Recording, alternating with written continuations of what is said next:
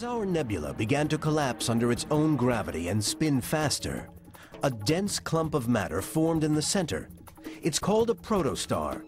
At first, its heat was due to friction, but when the clump reached 18 million degrees Fahrenheit, nuclear fusion kicked in.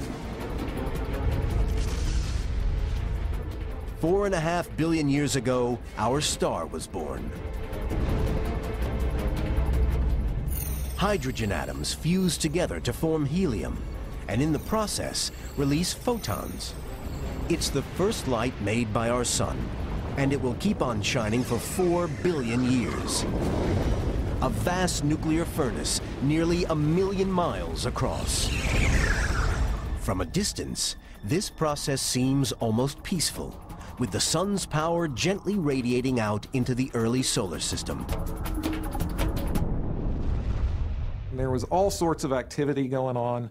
Things were changing rapidly violence, explosions, intense radiation. We had a pretty spectacular origin, I think. Recent research suggests the solar system's birth was far from peaceful. Our sun may in fact have been born out of one of the most violent events in the cosmos. The explosive death of another star.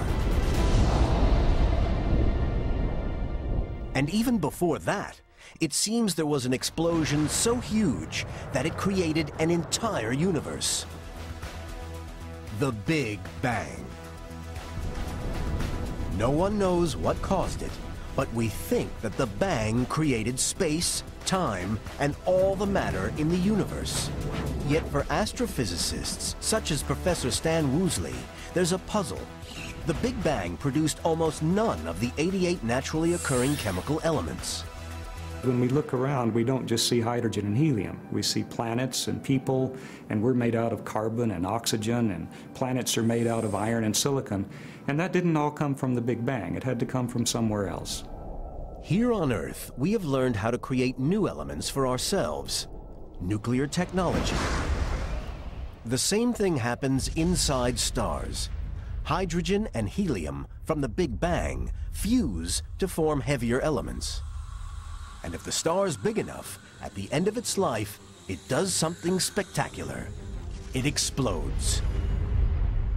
The energy of a supernova explosion is essentially equal to all of the energy that the sun will put out in its 10 billion year life.